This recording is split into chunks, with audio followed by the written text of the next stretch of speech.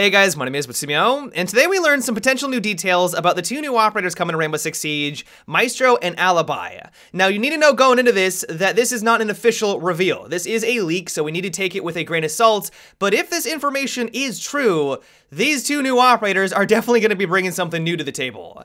And so first of all, we have Alibi. Now we already knew that she was going to have access to some sort of decoy or hologram gadget from a previous leak, but we now know that if an offensive operator, she is on defense, if someone shoots at it, it will actually mark them as if they were scanned by Lion for a couple of seconds. Now, as long as we look past the realism of this gadget, because it doesn't make any sense. Why does it only mark you when you shoot at it? How does it mark you? As long as we look past that detail, I think this could add in a really cool dynamic into Siege. It is gonna hinge, though, on how real this hologram looks, though. If it's just a blue operator like we see in movies in the corner of the room, probably not gonna be all that effective. Even if you rush on in without droning, I don't see how anyone's gonna be fooled by that. You might do a double take because you don't remember an object being in that corner of the room, but you're definitely not gonna shoot at it. And so if I had to take a guess, this hologram is gonna look fairly lifelike. It's not gonna move, it's gonna be static, which is gonna be one giveaway,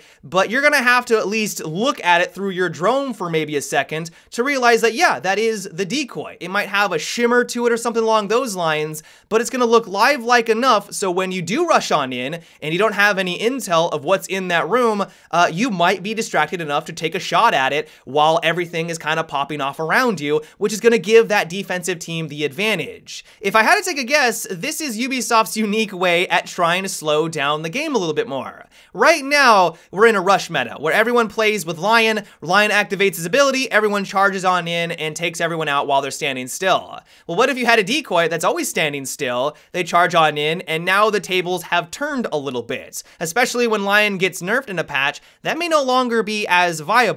And so really it just seems like Ubisoft may be trying to get people to drone a little bit more, take their time and identify what's in the room before they charge on in.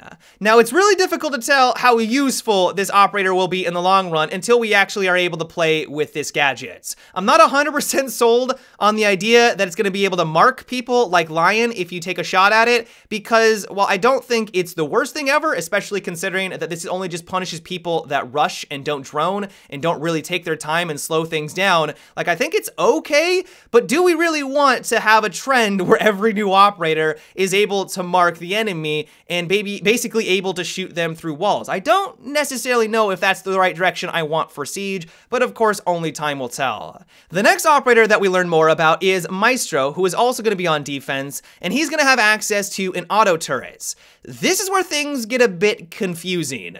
According to the leak, when his turret is inactive, it's going to be in shell mode, and you're not going to be able to take it out with normal weapons. He also only has access to one of these gadgets, and you need to be on your camera to be able to use it. This description makes it seem like it's very similar to Echo's gadget, but it can't go stealth, it can't move around, I believe it's stationary, but it has some sort of zapping ability. The description also mentions that you can zap it multiple times if you hold down the button. We don't know if this disorients them, we don't know, maybe it's a stun.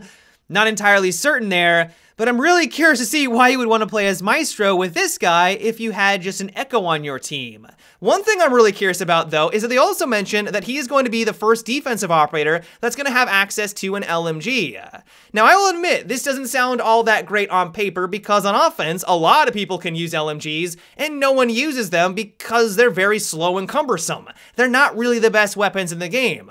But that may just be because it's on offense. On defense, it may be way more valuable. This is pretty much the way that shotguns work. On offense, they're not all that great. You need to be the aggressor. You have to be the one that runs down that long hallway to close the gap. On defense, you don't need to do anything like that. You can just sit and wait for them to come to you. Shotguns are a lot more useful on defense. That might be the same thing for LMGs. If there's 15 seconds left and you know that offense needs to push through a doorway, we'll just let it rip. They have to come to you. They have to walk through that hail of shots, and that's probably going to mean that they're going to lose the round because of that. So that might be an interesting new dynamic. And so all in all, I cannot wait to see the official reveal of these two new operators. I'm a bit worried about Maestro. I'm not 100% sold on him. I have trust in Ubisoft. They haven't steered us too wrong in the past. Lately, they've kind of had some hiccups, but I'm, I'm, I'm crossing my fingers that we can see a return to form. Maybe we can have some meta shifting,